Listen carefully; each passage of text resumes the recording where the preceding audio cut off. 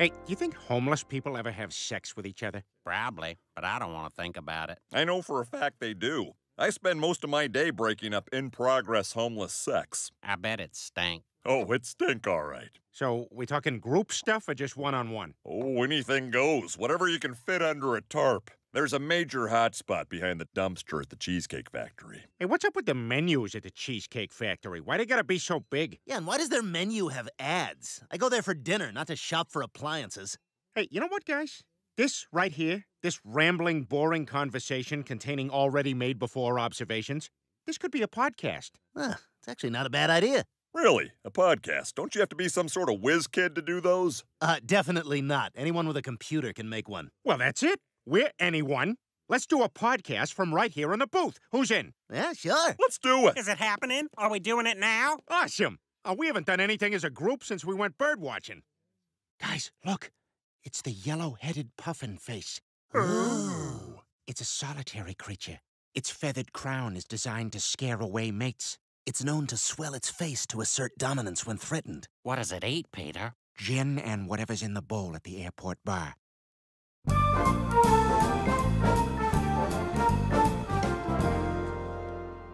I said, damn, what a wild couple of days. Anyways, what's up with you guys? Sorry, amigo, not interested.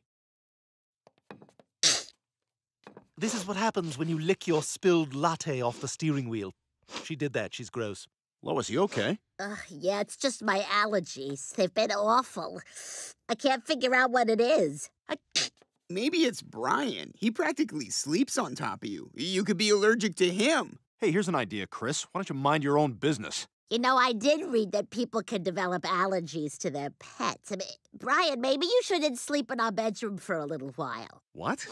Well, then where am I supposed to sleep? How about in your own apartment, like a grown up? Do you have a problem with me, Chris? Why don't you sleep in Stewie's room? There's plenty of space. Roomies? Dude, this'll be so ill. Who are you? I'll tell you who. Your new roommate. Ugh. I'm gonna go take a shower so I can blow my nose into my hands. Damn it!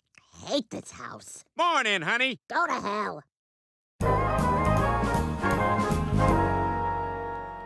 All right, you guys, podcast time.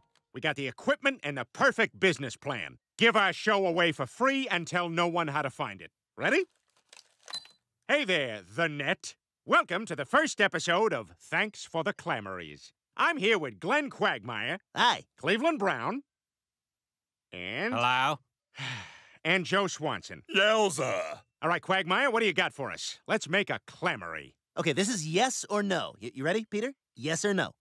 French toast. Yes. French fries. Yes? French kissing. I, I don't know. These questions are weird. Okay, okay, someone else. Cleveland, yes or no? Velcro shoes. Hmm, Velcro shoes. Wee, this is a tough one.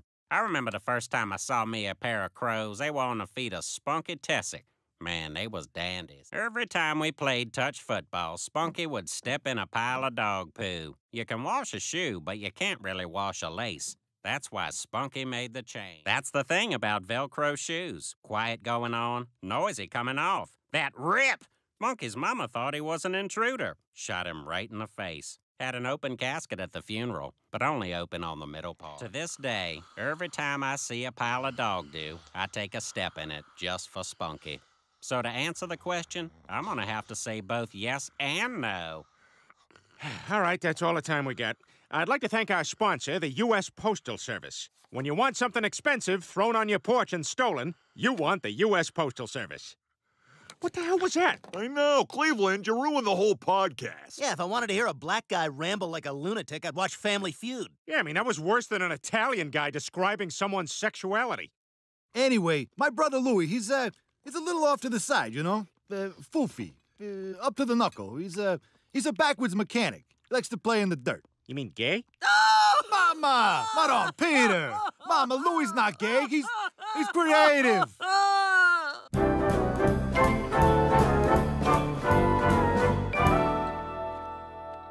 Hey, Stewie, thanks for letting me stay in your room. Oh, Brian, please. It's our room now.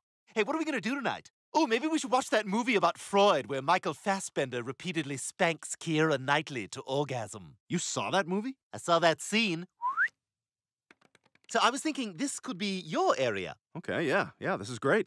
And fair warning, some of the books are pop up, so don't be alarmed. Ah, son of a bitch! Frickin' bird came out of nowhere.